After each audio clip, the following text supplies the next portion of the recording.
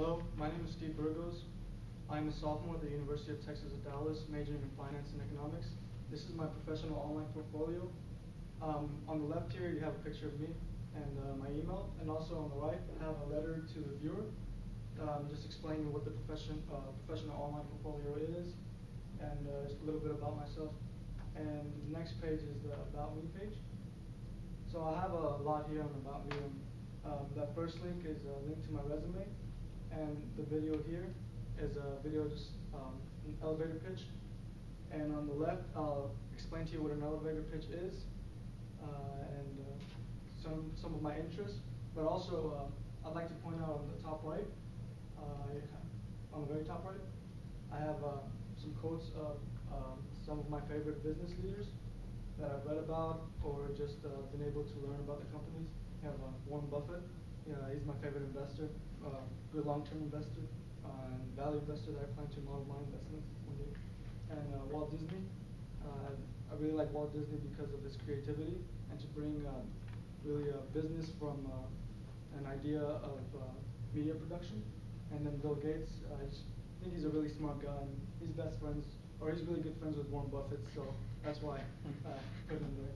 And on the right here at the bottom right, you have some of the things, uh, a link to some websites that uh, I believe represent me well. ALPFA, it's an association for Latino professionals in finance and accounting.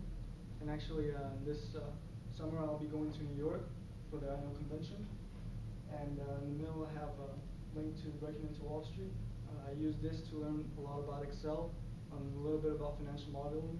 I've had a good friend who has, who has let me use his account, so I don't have to pay for any of the courses, so that's good for me.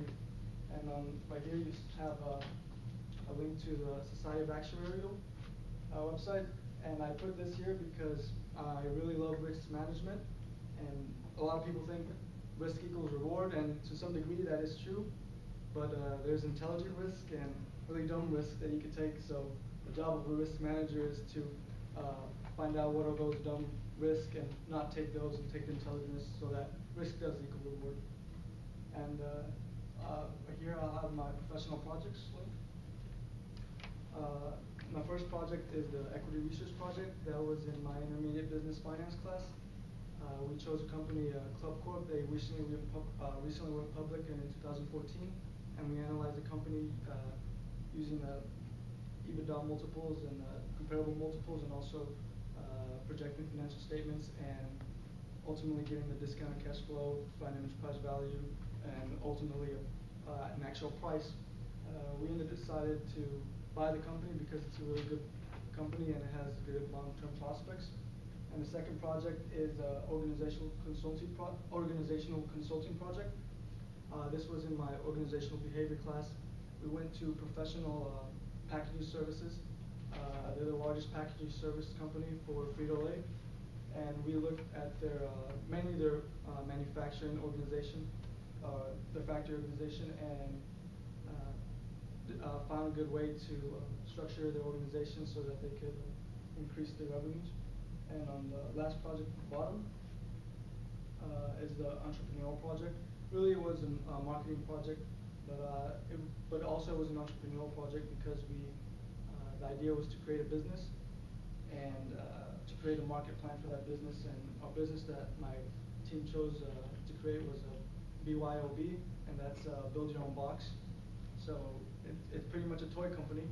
Uh, make, we give uh, children uh, sets of boxes, and then they they can create castles or anything like uh, anything like that. And my job in the project was to uh, find out the financial uh, statements of the projected financial statements of the company, and also look at market data. And I use, a lot of this I use from current toy companies such as Mattel and Hasbro. And uh, last, uh, uh, it's actually uh, my contact information. So if you uh, want to contact me, you can email me, or on the bottom, you can find my LinkedIn page and uh, connect with me. Thank you. Thank you.